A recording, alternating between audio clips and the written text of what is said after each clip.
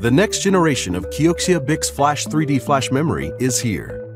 Designed for the needs of data-centric applications, BiCS Flash technology delivers performance, high density, and cost effectiveness. Kioxia is leading the way with groundbreaking innovations, including 218-layer 3D flash memory with CMOS bonded array architecture, lateral shrink technology, in a four-plane device.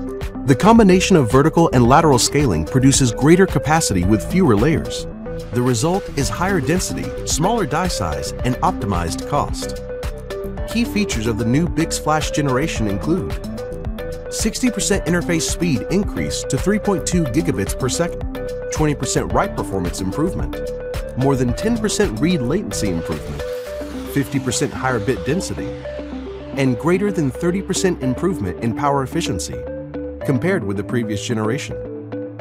Compared with conventional package types like the 132 and 152 BGA packages, our latest generation of BiCS Flash is available in a smaller 154 BGA package, reducing its footprint by 28%.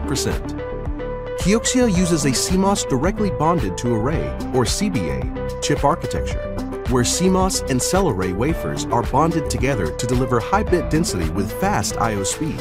Fabricating the cell and peripheral separately allows the optimization of each technology, enabling both cell reliability and I.O. performance in the final product. Kioxia's groundbreaking architectural innovations in lateral scaling and wafer bonding deliver a major leap in performance, density, and cost effectiveness.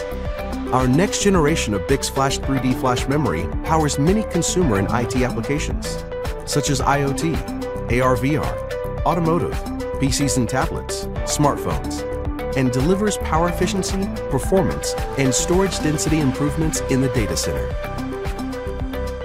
To learn more about Kioxia's BiCS Flash 3D flash memory and its technologies, visit us at kioxia.com.